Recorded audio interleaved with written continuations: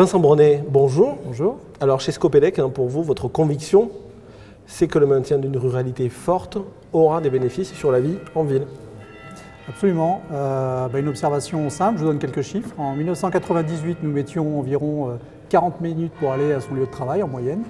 Et en 2018, on passe environ 50 minutes euh, dans notre voiture, principalement, pour se rendre au travail. Donc, euh, alors il y a l'urbanisation que l'on connaît, hein, qui se passe, euh, voilà. Euh, mais euh, cette urbanisation, aujourd'hui, contrairement à ce qu'on pourrait en attendre, c'est-à-dire elle ne nous rapproche pas, elle nous éloigne.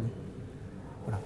Et avec ses conséquences, conséquences écologiques qu'on connaît, euh, mais des conséquences aussi de stress, de fatigue pour beaucoup, Mhm. de coûts supplémentaires, d'attente, de perte de temps, etc. Bref, de complexification finalement de la ville et donc de, de- de- de l'urbanisme. Euh, donc tout ce qu'on pense aujourd'hui, c'est que la ville devrait euh, être pensée avec sa ruralité environnante. Voilà.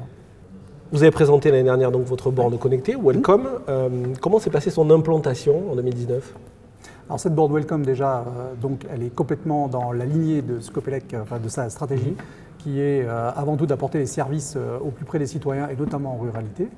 Euh, donc cette borne welcome euh, consiste à apporter un maximum de services qu'on a en ville, comme des colibox, des systèmes de colibox, comme des wifi, etc.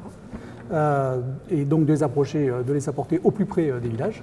Euh, et on apporte pour cela aussi la connectivité, c'est-à-dire notamment la fibre optique, mais Mhm. pas que, aussi le réseau hertzien télécom qui permet d'apporter ces services.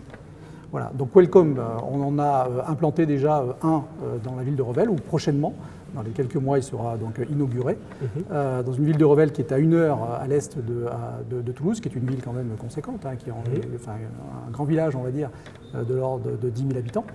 Euh, ensuite, nous avons d'autres projets en cours, notamment dans le Pays Basque et notamment dans, dans- dans- dans le département des Bouches-du-Rhône.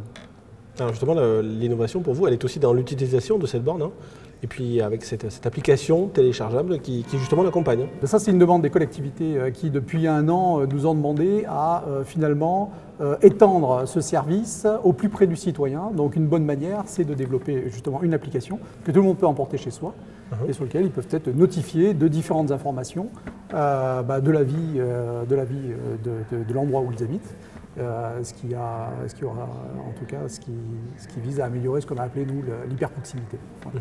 Et là, ça peut être euh, pour le biais du, du- du commerce, les commerçants locaux, la mairie aussi. Comment ça Oui, peut s'appliquer oui, alors justement, le, le nom ou le slogan, on va dire, qui va avec cet objet qu'on appelle le Welcome, ce mobilier euh, Mhm. rural, on va dire, euh, c'est un espace numérique qui nous relie. Voilà. Donc l'intention, en tout cas l'ambition hein, de, de- de cet objet-là, c'est bien de relier en fait les commerçants, euh, la collectivité et les citoyens, en apportant un maximum de flux et un maximum finalement euh, de connexion entre chacun pour favoriser, euh, encore une fois, l'hyperproximité et cette vie et de, de redonner vie, ou en tout cas de redévelopper euh, ces centres-bourgs.